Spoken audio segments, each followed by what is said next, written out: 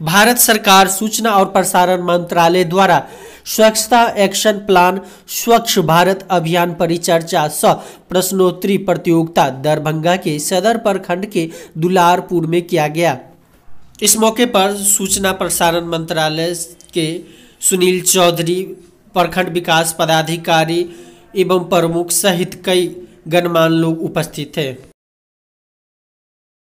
जो खराब पोलिथीन को फिर से रिसाइकिल करके दिया जाता है उस पोलिथीन में जो साग सब्ज़ी आधा घंटा से सही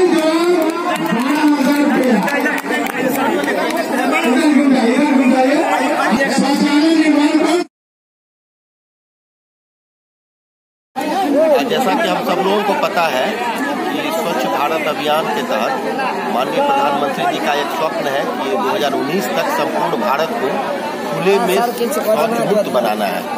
इसी दिशा में दरभंगा सदर अंतर्गत भी हम लोग लंबे समय से प्रयत्नशील हैं और इस दिशा में लगातार हम लोग आगे बढ़ रहे हैं।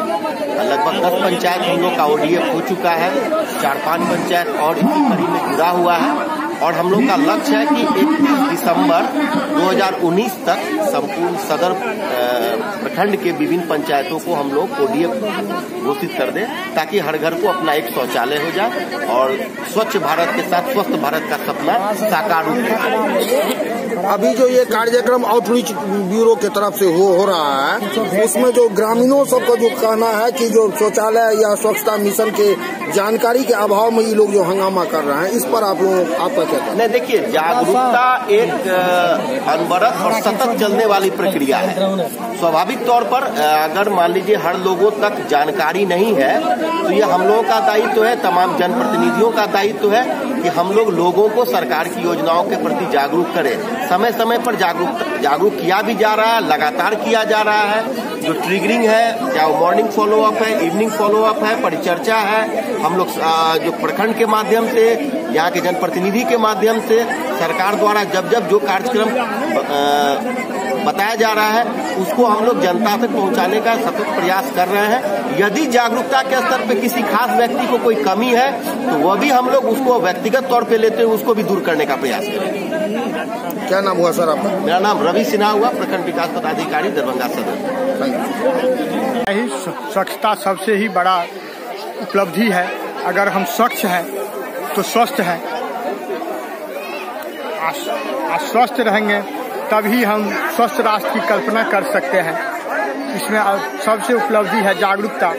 यहाँ पर ज़्यादा से लोग बिना जागरूक के हैं जिनको कोई पता नहीं है कि स्वच्छता क्या होता है।